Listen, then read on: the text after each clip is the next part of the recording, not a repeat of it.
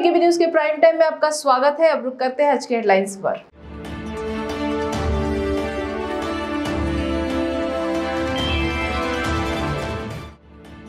आदित्य ठाकरे के अयोध्या दौरे पर उदय सामंत ने दी प्रतिक्रिया।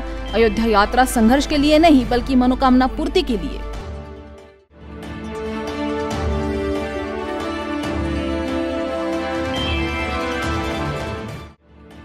गढ़चिरौली में दिव्यांगों को विभिन्न सामग्रियों का वितरण। सुप्रिया सुले ने कहा कि दिव्यांगों के लिए करे कार्य।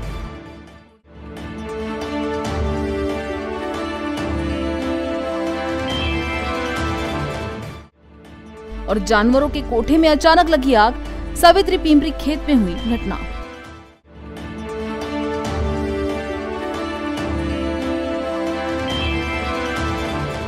और अब खबरें विस्तार से। आदित्य ठाकरे की अयोध्या यात्रा पर उदय सामंत ने प्रतिक्रिया देते हुए कहा कि हमें इस जगह पर सुनील प्रभु द्वारा आमंत्रित किया गया है। ट्राइडेंट में एक बैठक होगी और एक रणनीति तैयार की गई है और वो रणनीति कभी नहीं भूली जाती। हितेंद्र ठाकुर ने राजन विचारे से मुलाकात की है। उन्होंने आगे बोलते हुए ये भी कहा है कि आदित्य ठाकरे की अयोध्या यात्रा संघर्ष के लिए नहीं, बल्कि मनोकामना पूर्ति के लिए है। मीटिंग कशी महाविकास आघाडीचे जे प्रमुख आहेत म्हणजे आमचे उद्धवसाहेब असतील शरद पवारसाहेब असतील अशोक चव्हाण आणि बाळासाहेब थोरातसाहेब असतील हे स्ट्रॅटेजी ठरवणार आहे आणि स्ट्रॅटेजी ठरलेली कोण सांगत नसतं. परंतु एक मात्र महाविकास आघाडीतला आमदार म्हणून मला पूर्ण खात्री आहे की चारही उमेदवार हे महाविकास आघाडीचे निवडून येतील. अ, त्याचबरोबर काल गिरीश महाजन यांनी बहुजन विकास आघाडीचे हितेंद्र ठाकूर यांची भेट घेतलेली आहे. कारण तीन आमदार त्यांच्याकडे आहेत बहुजन विकास आघाडीकडे. काय वाटतं? कुणाच्या बाजूने जातील?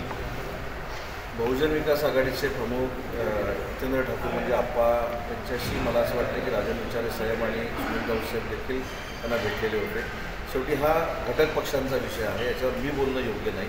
त्याच्या संदर्भात देखील तिन्ही पक्षाचे जे नेते आहेत पक्षप्रमुख आमचे उद्धव साहेब आहेत तो निर्णय घेतील आणि मला एवढंच वाटतं की आप्पा देखील महाविकास आघाडीसोबत राहण्याचा निर्णय घेतील.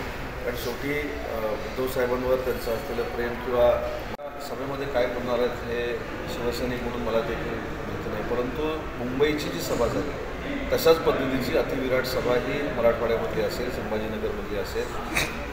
सभेचे सगळे विक्रम उद्याची सभा ही शिवसेनेची मोडीत काढेल. या संदर्भातलं स्पष्ट भूमिका आहे. तिथल्या स्थानिक लोकांनी देखील मांडलेली आहे.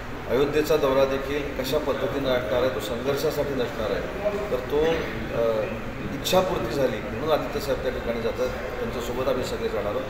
त्यामुळे दोन्ही विषय हे शिवसेनेचे पूर्वीपासूनचे आहेत की आता राजकारणासाठी घेतलेले नाहीत. म्हणून संभाजीनगरची सभा ही अतिविराट होईल आणि आदित्य साहेबांचा दौरा देखील अतिशय चांगल्या पद्धतीनं देशामधील देशामधला अतिशय उत्कृष्ट असा दौरा अयोध्येचा. हे शिवसेनेचे नेते महाविकास आघाडीचे नेते चर्चा करतील. त्यांच्या बद्दलची काही भूमिका असेल ती महाविकास आघाडीचे सगळे प्रमुख मांडतील.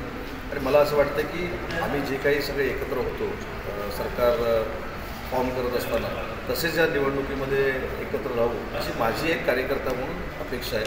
आणि माझं असं मत आहे की आम्ही सगळे एकत्र राहू. एम एमकडे खुलेपणाने ऑफर केली जाईल महाविकास आघाडीकडून? मी मगाशी देखील आपल्याला सांगितलं की शिवसेनेचे धोरणात्मक सगळे निर्णय हे पक्षप्रमुख उद्धव ठाकरे साहेब घेत असतात. मी मुख्य प्रतोद सुनील प्रभू साहेबांनी बोलवल्यामुळे या ठिकाणी आलेलो आहे. माझं मी एक शिवसैनिक म्हणून मत मांडलं वैयक्तिक मत मांडलं. आणि शिवसैनिक म्हणून माझं मत असं आहे की आमचे सगळे निर्णय उद्धव साहेब घेतात. उद्धव साहेब जो निर्णय घेतील तो आम्हाला मान्य असतो. आणि माझ्या घटक पक्षाबाबतचा देखील निर्णय हे उद्धव ठाकरे साहेबांच्या आदेशानंच होईल उद्धव उद्धव साहेबांच्या पुढाकारानंच होईल आणि त्यांच्या संमतीनंच होईल दिग्रस तालुका के निम्हा फार्म में करोड़ों रुपए खर्च कर नगर पालिका ने डंपिंग ग्राउंड का निर्माण किया है लेकिन किसान ने नगर परिषद से बार बार शिकायत की है कि डंपिंग में सिर्फ़ तार का कंपाउंड है और कूड़ा पिछले चार साल से किसानों के खेत व कुओं में डाला जा रहा है। न्याय नहीं मिलने पर आत्महत्या करने की धमकी भी दी गई है। दिग्रस तालुका के निम्बा फार्म में करोड़ों रुपए खर्च कर नगर पालिका ने डंपिंग ग्राउंड का निर्माण किया। शहर के कचरा ट्रकों में कचरा इकट्ठा करके हज़ारों टन कचरा शहर के बाहर के डंपों में डाला जाता है। किसान हीरा बालपुरे, पुंडलिक थोरात व वंदना शिंदे ने नगर परिषद से बार बार शिकायत की है कि डंपिंग में सिर्फ़ तार का कंपाउंड है और कूड़ा पिछले चार साल से किसानों के खेतों व कुओं में डाला जा रहा है। कचरा ट्रक डंपिंग ग्राउंड में आ रहे हैं और डंपिंग ग्राउंड में सुधार कर रहे हैं। न्याय नहीं मिलने पर पीड़ित किसान ने गला घुटकर आत्महत्या करने की चेतावनी दी है। नगर परिषद के जलापूर्ति अभियंता व स्वास्थ्य निरीक्षक कलो से मौके पर पहुँचे तो पता चला कि कूड़ा करकट के ट्रकों को जाम कर दिया गया है, लेकिन उन्होंने संबंधित किसानों से सीधी बात नहीं की और कहा कि उन्होंने खेत का निरीक्षण भी नहीं किया है। चिंतित किसान सुबह सात बजे से भूख हड़ताल पर डंपिंग ग्राउंड के पास है, लेकिन इसका नगर परिषद के अधिकारियों से कोई लेना देना नहीं है। किसानों ने चेतावनी भी दी है कि न्याय मिलने तक वे नहीं जाएँगे। उन्होंने यह आरोप लगाया था कि नगर परिषद ने बार बार मांग की थी कि डंपिंग ग्राउंड से कचरा हमेशा खेतों और कुओं में आता है लेकिन नगर परिषद ने कुछ नहीं किया। हमको कचरा डालने से खेती वाले को तकलीफ़ हो रही है यहाँ पर बहुत। चाँद से यही तकलीफ़ हो रही बहुत परेशान है हम इससे ये खेती से। और इसने मान रहे नहीं ये नगर पालिका के लोग और हमेशा हमको तकलीफ़ दे रहे हैं। हम इसको कितनी बार अर्जी दिए कुछ भी करे हमने लोगों को ये कि लोग अभी तक हमारा कोई निर्णय लिए नहीं लोगों ने हमारा इन्होंने। अभी तक उन्नीस कन से हमारा कम से कम आज बाईस आ गया। आज हमने निर्णय लिए, हमारी मजबूरी आ गई कि हमको इनकी गाड़ा रोकना पड़ रहा है हमेशा इसकी वजह से। इसकी वजह से क्योंकि हमारी खेती पूरी पन्नी से भरे वाली है हमारे नुकसान, लाखों रुपए का खेती का नुकसान हो रहा हमारा हमेशा। एक साल नहीं, हम पाँच साल से परेशान है ज़मीन पर ही। इनकी पाँच साल से हम तकलीफ़ सहते आ रही है लोगों की। तकलीफ़ सहते सहते यार आज हमको ऐसा टाइम आ गया कि हमको इनकी गाड़ियाँ रुकाने की मजबूरी आ गई। मजबूरी आ गई इससे हम हमारा काम नहीं होया हमारा इंसाफ नहीं मिला तो हम आज हम इसकी वजह से फांसी ले सकते हैं हमारा लगा कर आज। मगर गाड़ी हम जान देंगे नहीं उनकी यहाँ से। दोन हज़ार एकोणीस पासून पासून। आत्तापर्यंत. तिचा निर्णय लागला नाही. तहसीलदार नगर परिषद ठाणेदार साहेब फक्त हे देते आश्वासन होईन आज होईन उद्या होईन पण आत्तापर्यंत झालं नाही. किती वर्ष झाली या वर्षी दोन हजार एकोणीसपासून आमच्याजवळ सगळे रेकॉर्ड आहे. सही शिक्का आहे सायबर लोकांचे ओ सी आहे त्यांची झेरॉक्सवर सगळं आहे आमच्याकडे.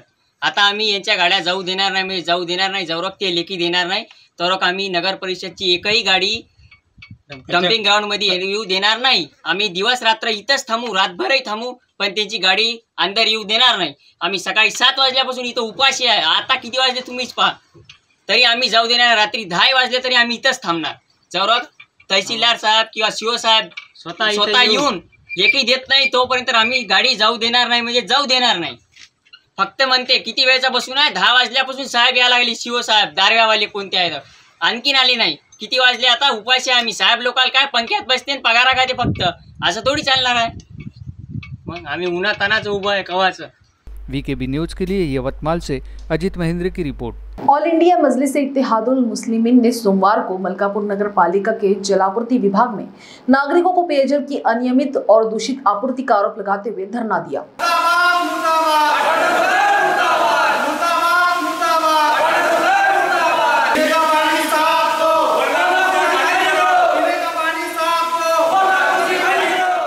इस धरना आंदोलन के दौरान पदाधिकारियों ने इंजीनियरों से खूब सवाल किए।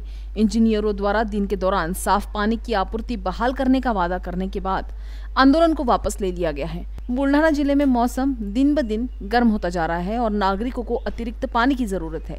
इसी बीच AIMIM all India Majlis Ittehadul Muslim ने सोमवार को मलकापुर नगर निगम परिसर में धरना दिया।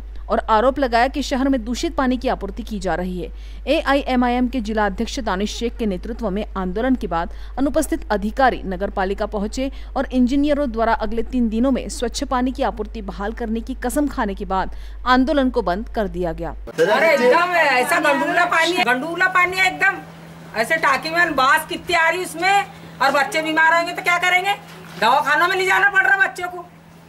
उल्टे हो रहे पानी गंडूरा आ रहा है उसमें बच्चों की तबीयत खराब हो रही उसमें पेट भी दर्द हो रहा कल से उलटे आणि पैखाने कर रहा बड़ा छोकरा। त्याच्याकडून पाणी घेतलं आपली परमनंट पाईपलाईन नळगंगा धरणावरून नाही.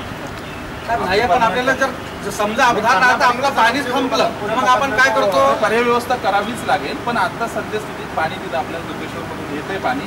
आणि त्याच्यात आपण बऱ्यापैकी प्रमाणशीर नाही ना साहेब तुम्ही आता नळ सोडायला लावा तिथं नळ सुरुवात आहे ना पाहते एकदम पाणी पिवळसर आहे. रेग्युलर त्याचा आढावा घेतोय कारण दरवर्षी उन्हाळ्यामध्ये एप्रिल मे मध्ये आपल्या नगर परिषद पानी पुरवठा विभाग की तरफ से विशाल नियोजन के कारण मलकापुर शहर पानी पुरवठा की तरफ से जो पानी जानवर भी नहीं पी सकते उस तरह का पानी मलकापुर की जनता को आवाम को दिया जा रहा है।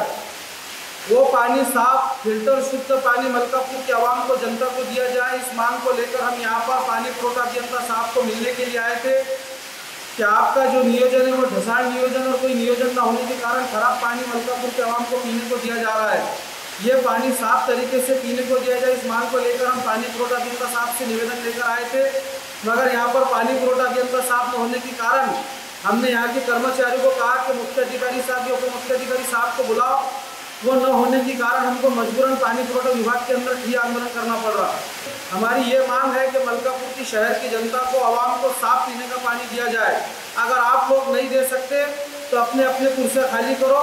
और अपनी अपनी कुर्सियाँ खाली करकर यहाँ से चले जाओ। राजीनामे दो अगर आप पीने का साफ़ पानी मलकापुर की जनता को आवाम को नहीं दे सकते। गढ़चिरौली के दिव्यांग लोग और उनके साथ आने वाली विभिन्न चुनौतियाँ हम सभी करीब से देख रहे हैं। गढ़चिरौली में बारामती लोकसभा क्षेत्र से सांसद सुप्रिया तई सुले ने सभी से राजनीतिक से परे जाकर विकलांगों के अधिकारों को सुनिश्चित करने के लिए एक सामाजिक प्रतिबद्धता के साथ काम करने की अपील की है। सुप्रिया सुले ने विकलांगों के अधिकारों को सुनिश्चित करने के लिए सामाजिक प्रतिबद्धता के साथ काम करने की अपील की। वो गढ़चिरौली ज़िले में विकलांगों को मुफ़्त सामग्री वितरित करने के लिए जिला प्रशासन और विभिन्न गैर सरकारी संगठनों द्वारा आयोजित एक समारोह में बोल रही थी। उन्होंने कहा कि केंद्र और राज्य सरकारों ने विकलांगों के लिए विभिन्न योजनाएँ शुरू की है। उनसे उनका हक दिलाने के लिए भी वे जी तोड़ मेहनत कर रहे हैं। पहले विकलांग लोगों का चयन केवल पाँच प्रकार के मानदंडों के अनुसार किया जाता था, लेकिन अब 21 प्रकार के मानदंड हैं, जिससे बड़ी संख्या में विकलांग लोगों को उनके अधिकार प्राप्त करने में मदद मिली है। मित्र संस्था नागपुर और गढ़चिरौली प्रशासन की मदद से ज़िले में 214 बधिरों की जाँच की गई, जिनमें से एक सौ इक्यानवे योग्य बच्चों को अत्याधुनिक डिजिटल हियरिंग एड मुफ़्त उपलब्ध कराने के लिए चुना गया। आज के कार्यक्रम में इसका वितरण भी किया गया। महिला आयोग की सदस्य आभा पांडे, कलेक्टर संजय मीणा मुख्य कार्यपालन अधिकारी कुमार आशीर्वाद, जिला परिषद सदस्य भाग्यश्री अतराम, जिला सर्जन डॉक्टर अनिल रुडे, जिला योजना समिति सदस्य रविंद्र वासेकर सुरेखाताई ठाकरे, समाज कल्याण अधिकारी पुष्पलता अतराम सहित अन्य पदाधिकारी इस अवसर पर उपस्थित थे।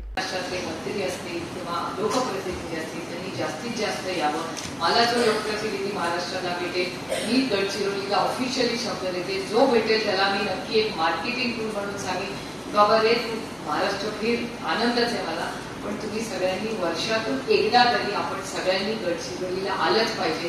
हे मला असं वाटतं प्रॉमिस आणि शब्द आपण हा महाराष्ट्रातला अप्रतिम भाग आहे. आणि लोकांच्या मनात त्याच्याबद्दल ज्या वेगळी मत आहे ती कुठेतरी खोडून काढण्याची नैतिक जबाबदारी आपल्या सगळ्यांवर आहे. हा सुंदर कार्यक्रम अभिजित तुम्ही आणि इथल्या सगळ्या प्रशासनाने केला. त्याच्यामुळे इथल्या भागातल्या जरी एड असेल बघतरी युपीआयचं कार्ड जे तुम्ही करताय त्याला ज्या रीतीने प्रशासन साथ देत आहे त्याचा खरंच या गडचिरोलीच्या प्रशासनाचा आपण कितीही आभार मानले तरी कमीच एक प्रोग्राम आम्ही तुमच्यापर्यंत आणला. आज चंद्रपूरवरून येताना दाट झाडी जंगल या भागात येताना मला सगळ्यात एका गोष्टीचा आनंद झाला की मी गडचिरोलीला आल्या आल्या तो रस्ता पाहिला. आणि त्याच्यावरचे लाईट्स व्यवस्थितपणे राहिले मला असं वाटलं की मी पिपरी चिंचवडला आले पुण्याला आले का नवी मुंबईला आले नंतर लक्षात आलं की नाही नाही आपण गडचिरोलीला आहोत. तर मी इतका आनंद वाटला की विकास याच्याबद्दल अनेक वेळा बोललं जातं. बदल होतो. त्या बदलाची नोंद आपण घेतली पाहिजे. आज सीओई उपस्थित आहे सीओई मला सांगत होते की या राज्यामध्ये कुपोषण कमी करण्यात सगळ्यात उत्तम काम कोणी केलं असेल तर जिल्हा परिषद गडचिरोली केले मला असं वाटतं. सगळ्यांनी खबरों के सिलसिले में वक्त हो चला एक ब्रेक का. मिलते एक छोटे से ब्रेक के बाद. बाय सब जानना चाहते हैं. मेरा फेवरेट कलर मेरा फेवरेट डेस्टिनेशन मेरी फेवरेट डिश पर कोई ये नहीं पूछता कि फेवरेट डिश मैं बनाती कैसे हूँ? अरे यार जिसे टेस्टी खाना पसंद है वो अच्छे टेस्ट तक पहुँच ही जाता है। सुरुचि मसाले। खाने में हो रुचि तो घर लाइए सुरुचि। अपने सपनों की उड़ान भरने की इच्छा तो हर किसी की होती है। पर पंख भी तो मज़बूत होने चाहिए।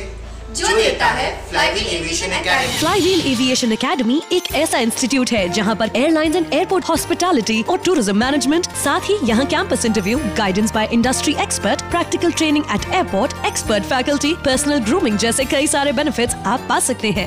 Flywheel aviation academy one degree three job opportunities Flywheel aviation academy gives you a degree और diploma with a job Flywheel aviation academy three sixty five Gandhi 365 Gandhinagar LAD college square beside Karnataka bank Nagpur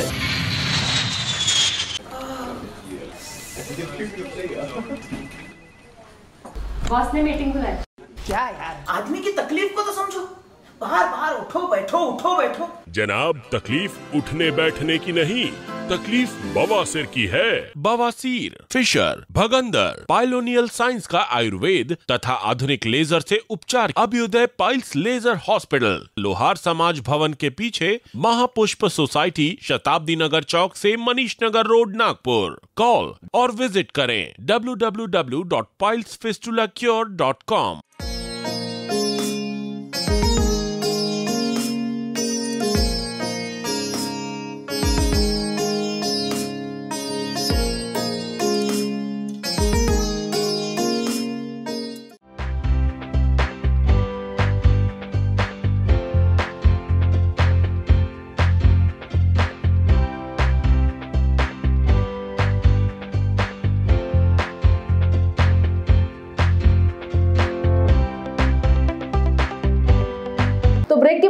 स्वागत है। जानवरों के अवैध कत्ल पर रोक लगाने के लिए नागपुर पुलिस की टीम एक मुहिम चला रही है। तभी पेट्रोलियम कर रही पुलिस की तरफ़ से जानकारी मिली कि नागपुर में जानवरों की अवैध कत्ल होने वाली है। इस दौरान पुलिस की एक टीम ने जानवरों को ले जाने वाले तीन वाहनों को रंगे हाथ पकड़ा है। इसमें कुल 33 जानवर पुलिस को मिले हैं। इस मामले में पुलिस ने चार आरोपियों को हिरासत में लिया है और दो आरोपी फरार है। पुलिस इनकी जाँच में जुटी हुई है। काल माननीय पोलीस आयुक्त सरांनी अ, जनावरांची जी अवैध प्रवासी अवैध वाहतूक केली जाते त्या संदर्भामध्ये आम्हाला एक विशेष मोहीम राबवण्यासाठी आदेशित करण्यात आलेले होते. त्या अनुषंगाने माननीय पोलीस उपायुक्त पंडित सरांनी जे आदेश दिलेले होते त्यानुसार क्राईम ब्रँचचे सर्व टीम या कामामध्ये कालपासून होते. पेट्रोलिंग दरम्यान आम्हाला माहिती मिळाली होती गोपनीय बातमीदारांकडून की तीन टेम्पो नागपूर शहरामध्ये हे जनावरांचे कत्तल करण्यासाठी घेऊन येत आहेत. त्यानुसार आम्ही सापळा रचला होता. आणि आम्हाला हे वेगवेगळ्या ठिकाणी तीन टेम्पो मिळून आले. त्याच्यामध्ये एक ट्रक आहे आणि दोन बोलेरो पिकअप आहेत. याच्यामध्ये आम्हाला एकूण तेवीस जनावरे मिळून आली. गाई आणि बैल काही बछडे आहेत. याच्यामध्ये आम्ही टोटल सहा चार आरोपींना ताब्यात घेतलं आहे आणि दोन आरोपी मिळून आलेले नाहीत त्यांचा शोध घेत आहोत. या कारवाई दरम्यान आम्ही एक ट्रक आणि जे दोन बोलेरो पिकअप वाहन जप्त केले आहेत आणि एकूण तेवीस जनावरे ताब्यात घेतली आहेत. तर यांची एकूण किंमत तीस लाख नव्वद हजार रुपये इतकी आहे. एनसीपी के प्रदेश अध्यक्ष और जल संसाधन मंत्री जयंत पाटिल ने कहा है कि महाविकास आघाड़ी के पास बहुमत है। इसलिए आघाड़ी का चौथा उम्मीदवार अच्छे वोटों से जीतेगा। साथ ही उन्होंने कहा है कि महाविकास आघाड़ी समस्या के अलावा और कुछ नहीं है। समाजवादी पार्टी भाजपा विरोधी उत्तर प्रदेश में है और उनका आधार एक ही है, इसलिए वे महाविकास आघाड़ी सरकार का समर्थन करेंगे। किसी को धोखा देने का सवाल ही नहीं है, क्योंकि वोट दिखाना होता है। तो प्रयत्न भाजप करणारच ना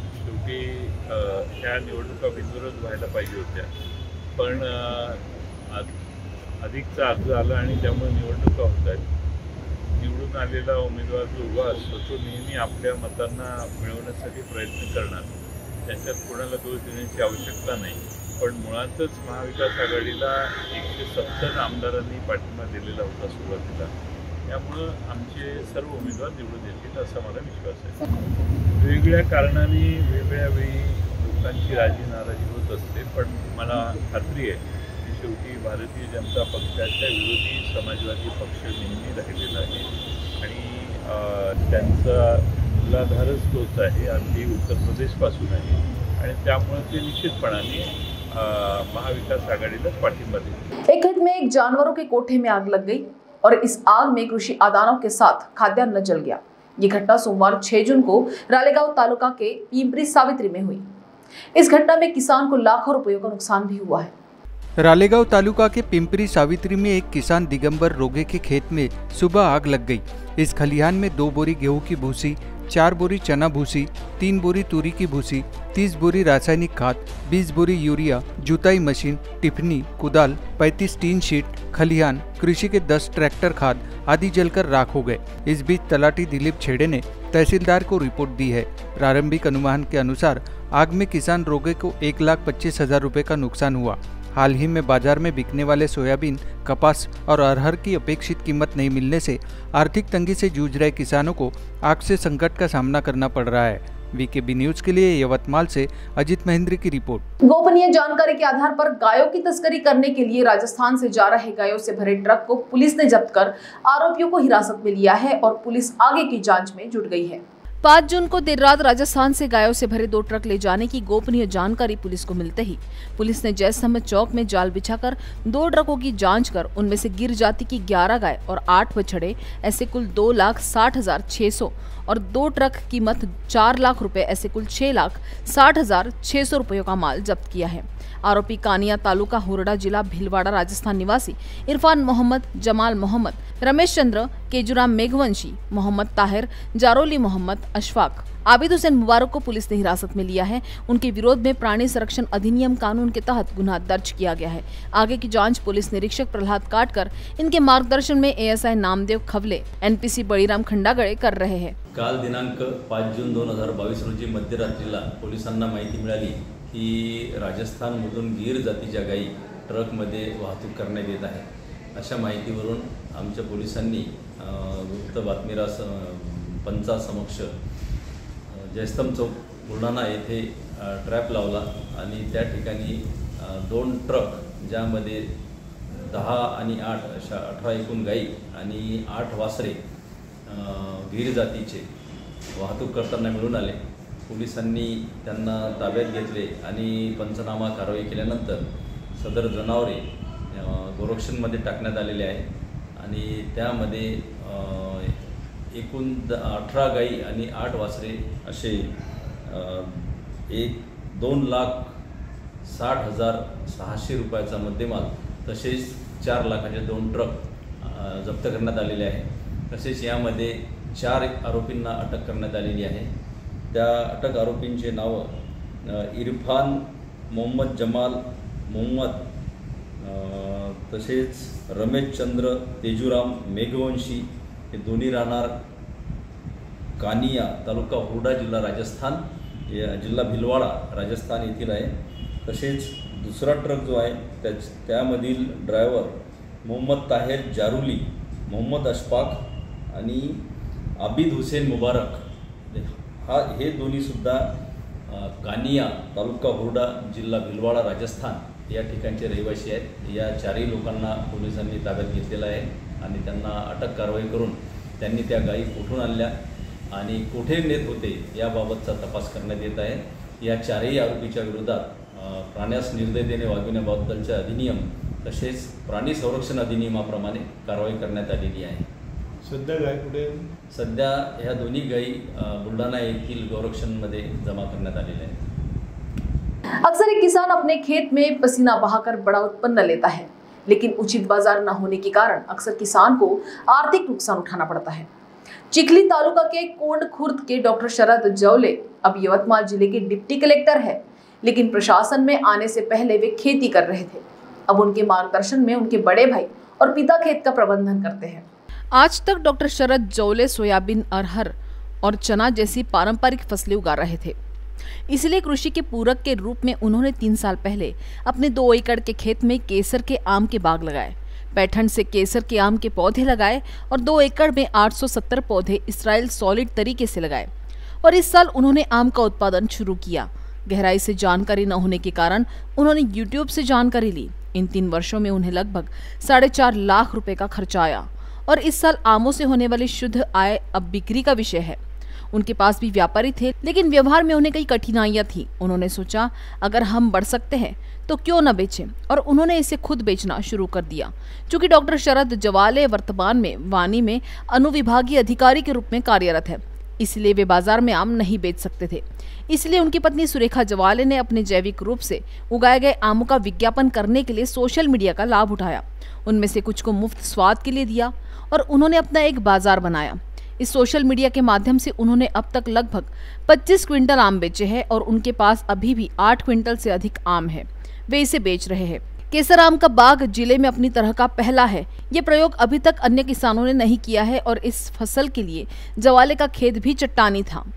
इसलिए ज्ञानेश्वर जवाले ने इस बाग को लेकर अपने बेटे से नाराज़गी व्यक्त की थी। लेकिन उन्होंने कहा कि साहस ने इस नए प्रयोग को जन्म दिया है और ये सफल रहा है।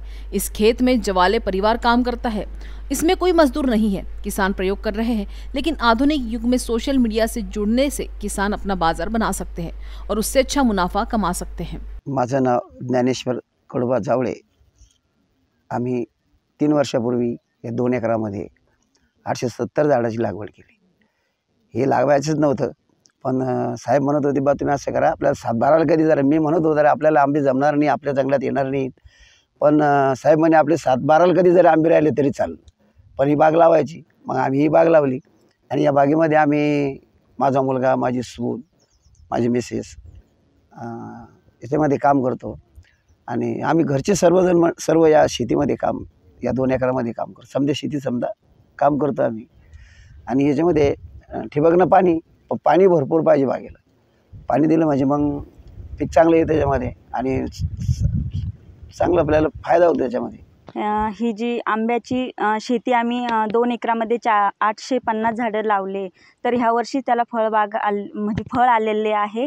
तर आम्हाला मार्केटिंग कशी करायची याचा प्रश्न पडला होता. तर जेव्हा आम्ही मार्केटिंगसाठी आम्ही बसूनसुद्धा विकू शकत नव्हतो मार्केटमध्ये. तर खूप म्हणजे बाबापुढेही खूप प्रश्न पडला होता का आता हे ऐकायचे कसे? मग आम्ही माझी जी फोर व्हीलर आहे त्याच्यामध्ये मी दहा बॉक्स म्हणजे एक क्विंटल आंबा मी फर्स्ट टाईम नेला. तर बऱ्याचशा लोकांना टेस्टिंगसाठी दिला पहिला आणि सोशल मीडियाचा हे घेऊन थोडंसं जाहिरात वगैरे केली.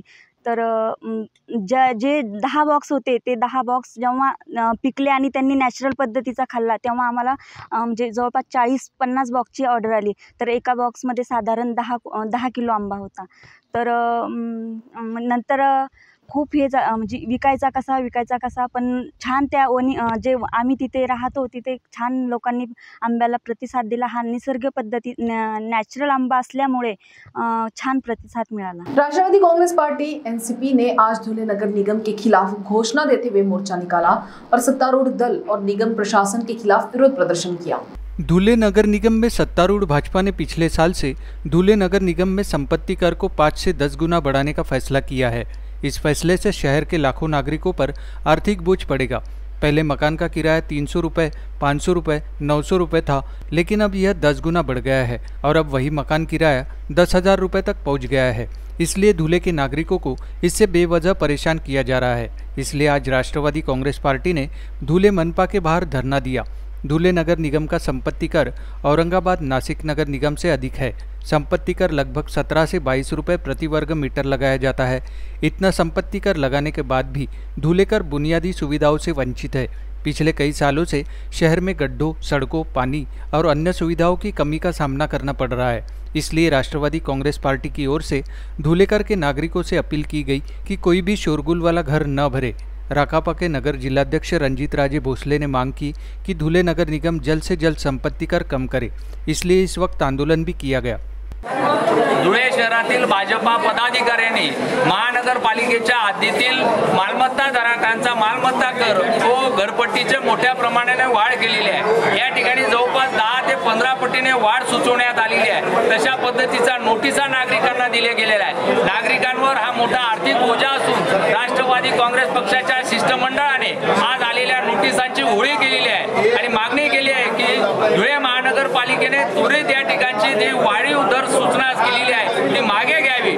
आणि नागरिकांनी कोणत्याही पद्धतीने या ठिकाणची मालमत्ता कर भरू नये त्याच पद्धतीने नगरसेवकांनी चाहे तो कोणत्याही पक्षाचा असेल त्यांनी महासभेमध्ये ही दरवाढ मागे घेण्याच्या बाबतीमध्ये ठराव करावा असं आव्हान राष्ट्रवादी काँग्रेस पक्षाच्या वतीने करण्यात येत आहे. आज वीकेबी प्राइम टाइम न्यूज में इतना ही। आपसे कल फिर मुलाकात होगी तब तक देखते रहिए वीकेबी न्यूज नमस्कार।